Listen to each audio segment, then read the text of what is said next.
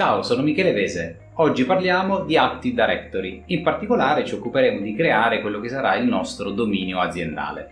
Per farlo abbiamo bisogno di Windows Server 2019 nel nostro caso, che è appunto l'ultimo sistema operativo server di casa Microsoft, ed un client che andrà a simulare quella che è l'azione di join a dominio, quindi si unirà all'interno di questo gruppo.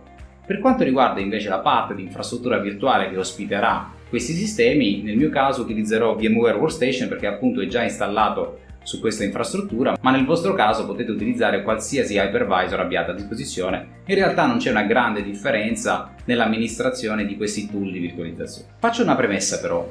L'obiettivo primario del lavorare all'interno di un contesto di rete è senza dubbio la condivisione delle risorse, che possono essere quindi file, cartelle o applicazioni. È quello il nostro obiettivo primario. Quindi a livello applicativo, quindi siamo sull'ultimo livello della nostra pila, noi possiamo farlo in due modalità. Il primo scenario, quello di default offerto anche dai sistemi operativi Microsoft, che è il workgroup, mentre l'altro più articolato è appunto il dominio.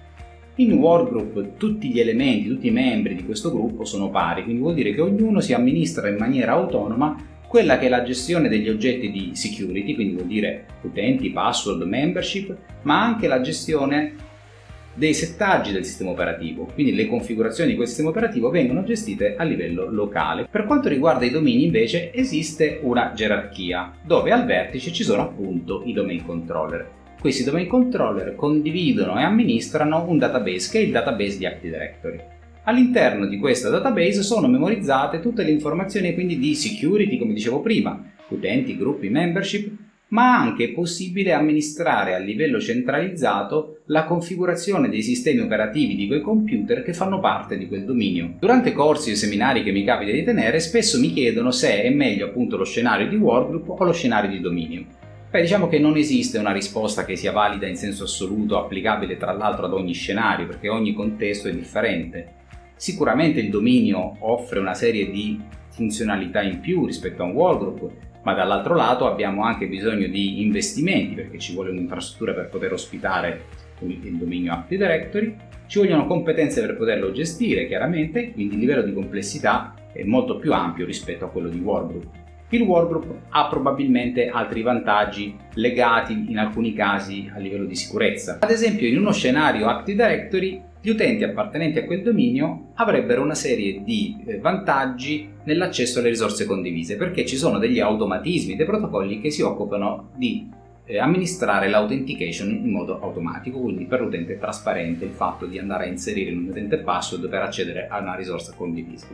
Questo potrebbe essere un bene da un lato, ma nel momento in cui noi abbiamo un server che ha delle informazioni sensibili e riservate, sicuramente l'ultima cosa che vogliamo è la condivisione di quelle informazioni in modo non del tutto controllato e sotto l'amministrazione dei sistemi informativi.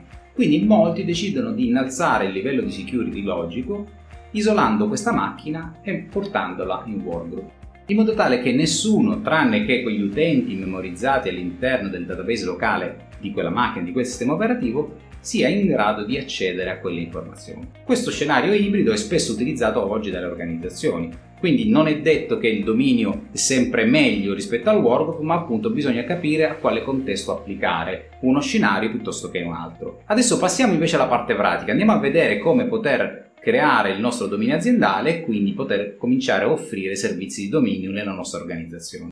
Ecco la nostra infrastruttura virtuale dove all'interno abbiamo appunto Windows 2019. Allora andiamo all'interno del tab Tools dove possiamo vedere che effettivamente questa è una macchina appena installata, non ha ruoli né feature aggiunti successivamente.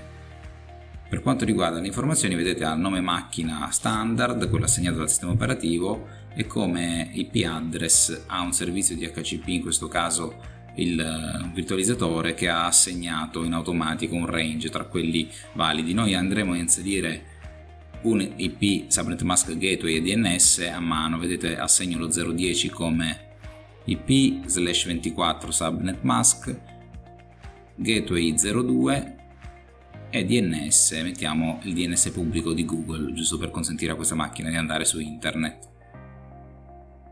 Cambio il nome macchina, quindi possiamo inserire un nome e una descrizione, quindi mettiamo come descrizione domain controller 01 all'interno del tab change possiamo inserire il nome macchina, in questo caso metterò dc-01.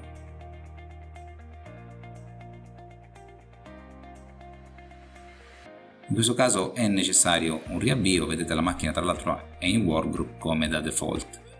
Riavvio, adesso taglierò chiaramente i tempi relativi alla fase di boot, ci riloghiamo la macchina con la password locale e adesso potremo effettuare l'installazione dei servizi di dominio. Quindi la promozione domain controller si effettua su due fasi. La prima è quella di installare il ruolo di Active Directory Domain Services e la seconda è quella della promozione a domain controller. Quindi andiamo a selezionare quindi il secondo nell'elenco, Domain Services, qui mi chiede di ereditare una serie di features per la gestione del dominio, quindi lascio tutto di default, faccio aggiungi e andiamo avanti. Qui c'è l'elenco delle feature possibili all'interno di un Windows Server 2019. Andiamo avanti, qua c'è una sponsorizzazione sui servizi eh, cloud di Active Directory. Confermiamo il tutto, mettiamo la spunta sul riavvio se necessario dopo l'installazione del ruolo e qui c'è la fase di installazione vera e propria delle varie funzionalità e del ruolo adesso taglio anche qui una serie di tempi morti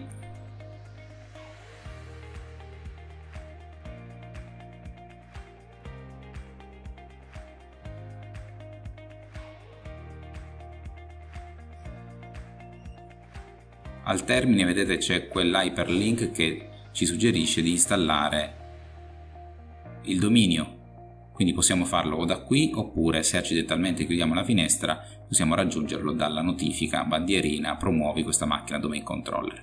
Qua ci chiede poi se vogliamo creare un nuovo domain controller in una foresta esistente, un nuovo dominio in una foresta esistente oppure una nuova foresta. Noi siamo in questo caso non abbiamo nulla, quindi mettiamo nuova foresta e il nome della nostra foresta, quindi unicellulare a singolo dominio. michelevese.corp, vado avanti, Qui livello di foresta di dominio vuol dire il livello di funzionalità che la nostra foresta e il nostro dominio devono avere, mettiamo 2016 come suggerito, DNS assolutamente sì, vuol dire che questa macchina poi gestirà il DNS del dominio, global catalog abilitato di default sul primo domain controller e mettiamo una password di restore mode in caso di recupero del sistema operativo del domain controller. Qui c'è un errore, un errore di delega che avrete sempre nel momento in cui state creando una delega di primo livello, quindi su un top level domain. NetBIOS Michele Vese automatico, quindi senza il punto corp. Qui sono i percorsi di default, quindi il database Active Directory, i log e la sysvol. Questo è il recap di quello che abbiamo fatto e lì in basso dove c'è view script possiamo eventualmente esportare uno script riutilizzabile poi in PowerShell per poter effettuare la stessa azione che abbiamo visto graficamente da PowerShell però. Ok, qui adesso partirà la promozione della macchina e ci sarà un successivo riavvio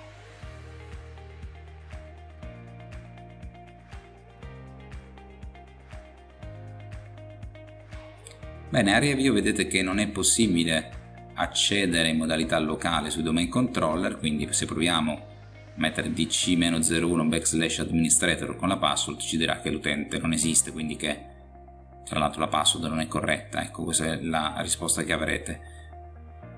È obbligatorio quindi accedere con un utente di dominio che sia abilitato, in questo caso il domain administrator sarà nome dominio backslash administrator con la password che abbiamo inserito. Come facciamo a capire che siamo su domain controller? Beh, ci sono vari metodi.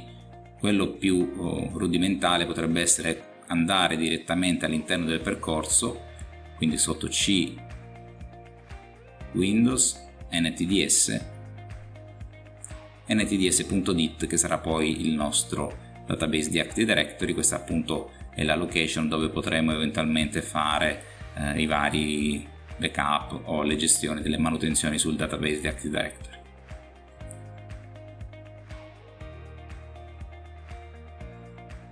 Questo è il nostro database, vedete 18 mega appena installato. Un'altra alternativa è quella di andare nella console Active Directory User and Computers, quella appunto standard per la gestione del dominio,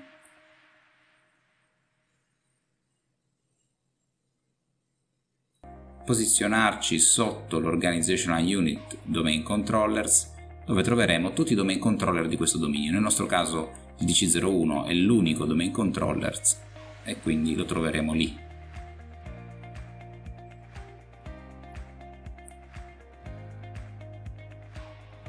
In built-in troviamo tutti i gruppi già preesistenti prima della promozione al domain controller, vedete server operators, users, quindi esistevano già, mentre sotto users vediamo tutto ciò che viene creato con l'installazione dei ruoli.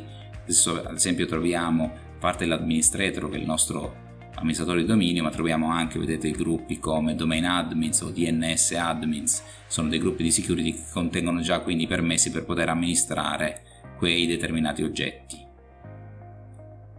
Computers invece è un container che è quello di default che si popola nel momento in cui voi aggiungete una macchina a livello di join nel vostro dominio. DNS, vediamo se è tutto regolare. Allora, eh, il DNS di dominio avrà creato una zona che si chiama appunto così come il vostro dominio, michelevese.corp. Quindi questo DNS sarà autorevole per risolvere tutti i nomi in riferimento alla zona michelevese.corp. Quindi tutti i PC che saranno uniti al dominio, tutti i service record legati a questo dominio saranno gestiti da questa macchina.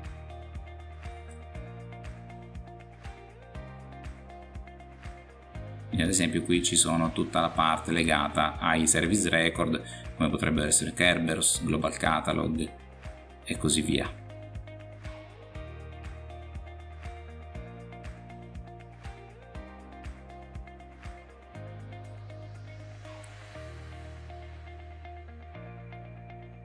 Vediamo cosa succede a livello DNS. Vedete, noi avevamo inserito l'888 di Google e qui è stato replicato, sostituito con il 127.001, vuol dire che questa macchina diventa autorevole per quella zona.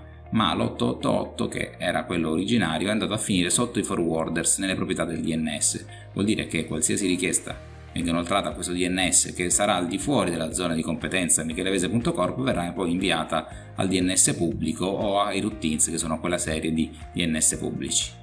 Creiamo adesso un nuovo oggetto, un nuovo utente nel dominio, lo chiamo user01, inseriamo una password, un utente standard, quindi sarà un domain user, rimuovo l'opzione di cambio password al prossimo logon e inserisco anche never expire per evitare appunto scadenze dell'utente. Durante l'utilizzo chiaramente non è una best practice lo facciamo solamente in laboratorio. Faccio la stessa cosa anche sull'account administrator fa, provo a fare un reset password dello user 1, vedete tasto destro, reset password molto agevole.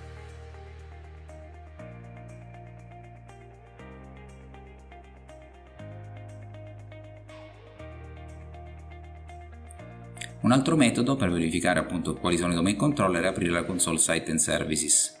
Qui dentro, dove appunto ci sono i siti che rappresentano quelle che potrebbero essere le location delle vostre aziende, il DC01 è l'unico domain controller all'interno di questo sito, tra l'altro questo sito è l'unico nella lista.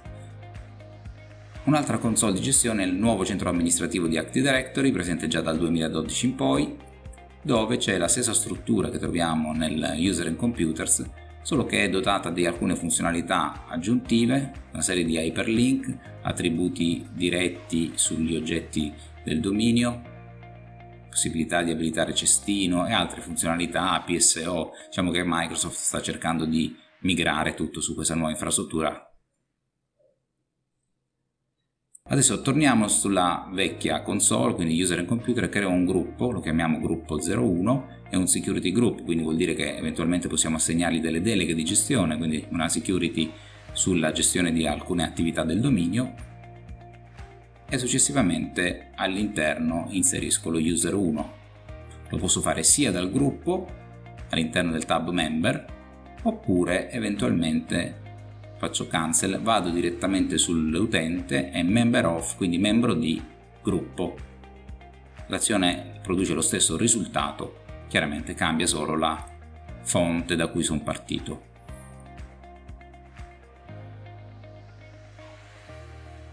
Adesso prendiamo questo Windows 10 ed effettuiamo una fase di join.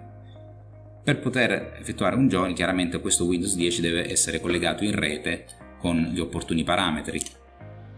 Quindi ad esempio se io vado nelle proprietà di questa macchina vedo un po' qual è la configurazione, questa macchina è in workgroup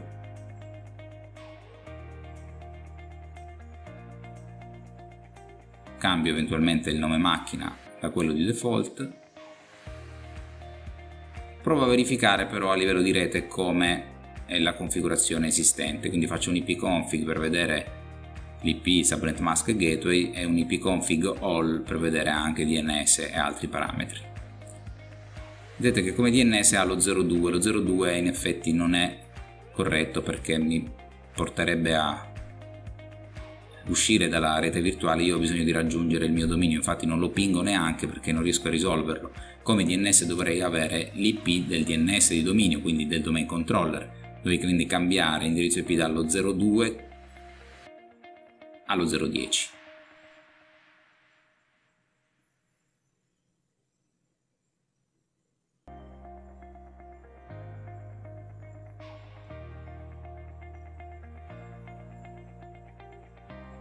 ok lascio tutto in eh, DHCP tranne il DNS primario punto 10 139 010 a questo punto il dominio sarà risolto attraverso delle query DNS provo di nuovo a fare un ping per evitare di fallire poi nella fase di join. Quindi ping michelevese.corp perfetto. A questo punto ho risposta posso fare il join a dominio quindi nel momento in cui inserirò come dominio michelevese.corp il computer mi risponderà con una richiesta di authentication. Quindi reinserisco il nuovo nome macchina posso farlo al volo senza dover riavviare in questo caso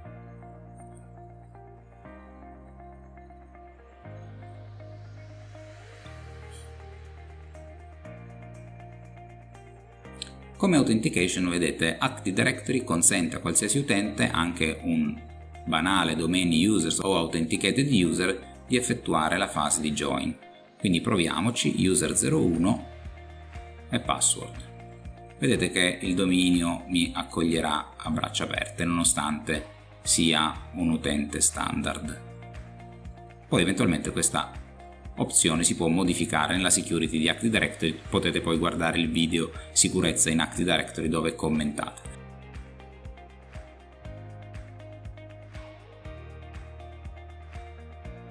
Effettivamente vedete che l'utente 01 non ha permessi particolari. Ok, riavvio quindi il PC Windows 10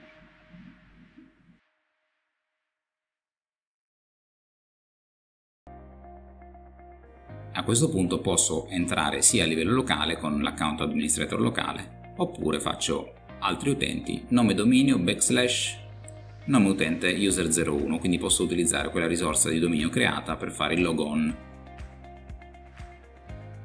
Nel dominio adesso vedete che ci sono una serie di accessi già di default automatici, cioè vuol dire appartenendo al domain user posso fare determinate azioni, ad esempio puntando direttamente al, ad Active Directory potrei visionare già le cartelle come sysvol, gli script, netlogon, proviamoci, quindi backslash backslash nome dominio, backslash vedete che ci sono già queste cartelle condivise di sistema, la sysvol dove ci sono le GPO e eventuali script e nella netlogon anche qui accessibile da tutti gli utenti. Bene, il nostro dominio adesso è pronto per poter lavorare all'interno di un'organizzazione e quindi di offrire quelli che sono i servizi primari di Active Directory. È chiaro che Active Directory offre tantissime altre funzionalità. Noi oggi abbiamo semplicemente creato il nostro dominio aziendale su un singolo domain controller e unito a questo dominio la macchina Windows 10. Se il video ti è piaciuto e quindi hai trovato utile questa guida, allora puoi cliccare nella descrizione in basso dove troverai tante altre risorse interessanti.